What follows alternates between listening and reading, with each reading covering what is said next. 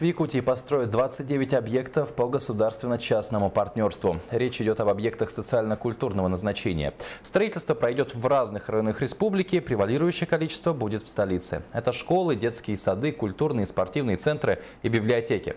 Насколько эффективно привлекать частный бизнес в строительство соцобъектов, постаралась узнать Саргалана Захарова. На прошлой неделе в Якутске началось масштабное строительство социальных объектов. Пять детских садов, четыре школы, три культурных центра, в том числе библиотека, детская школа искусств с концертным залом и дом культуры с киноконцертным залом на 500 мест.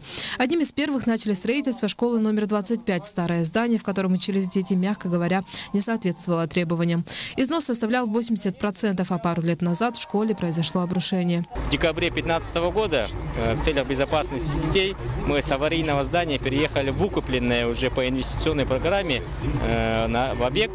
Самое главное, сейчас дети учатся в без, безопасном э, месте, в светлом, уютном месте. И, конечно, и мы уже, коллектив школы уже настроен на более качественные показатели и качественное образование. Конкурс проходил два года назад. В конце 2015 года определили победителя. Им стала группа строительных компаний «ВИЗ». Сегодня общий его портфель контрактов превышает 385 миллиардов рублей.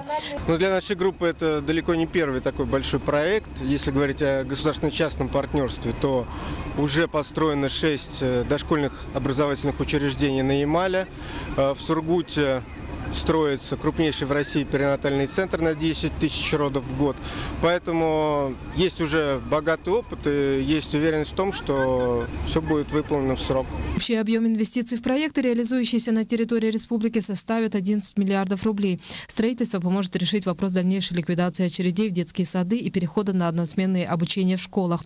Отметим, что строить будут и в отдаленных населенных пунктах, таких как Соскалах, Среднеколымск, Черский, Батагай.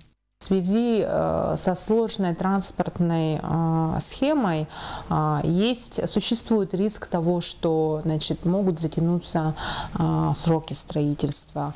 Но мы проводим тщательную работу по мониторингу исполнения пунктов соглашения с частных партнеров. Это наши республиканские застройщики. Поэтому на сегодняшний день у нас таких рисков на территории не существует.